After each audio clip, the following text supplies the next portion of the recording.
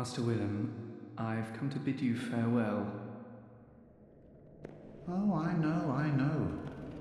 You think now to betray me.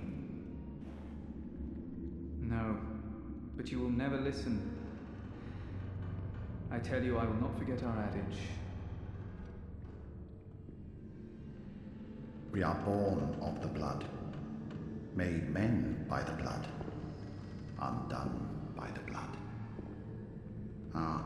eyes are yet to open.